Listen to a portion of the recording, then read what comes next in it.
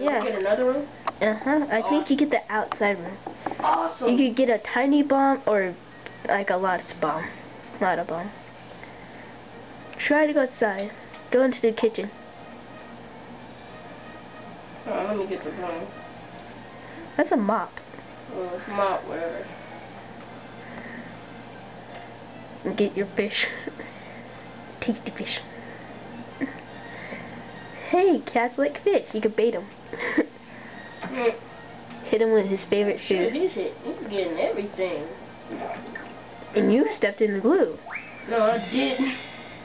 You stepped in the mail. Can you go upstairs? Hmm? Can you go upstairs? No. You could try it. It's locked. How do you know? Oh, the kitty thing. Or the dog thing. Caught by his own trap. Be careful. The refrigerator might be shut. Sneak around. See this stuff. He go in the kitchen.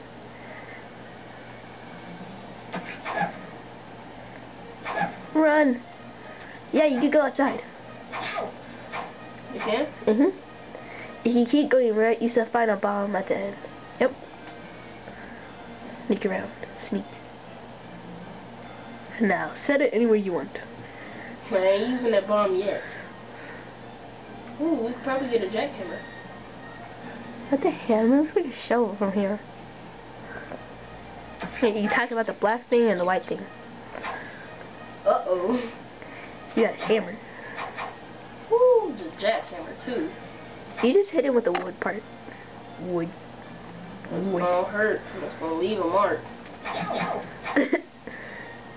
Triple hit.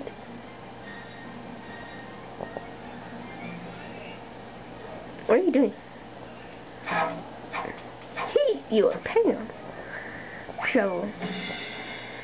Banana trap. Let's see what happens if you get exploded. No.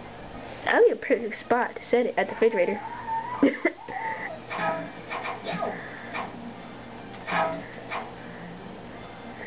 yeah, that would be a good spot. At the refrigerator. So you can pick it up and sit it on you.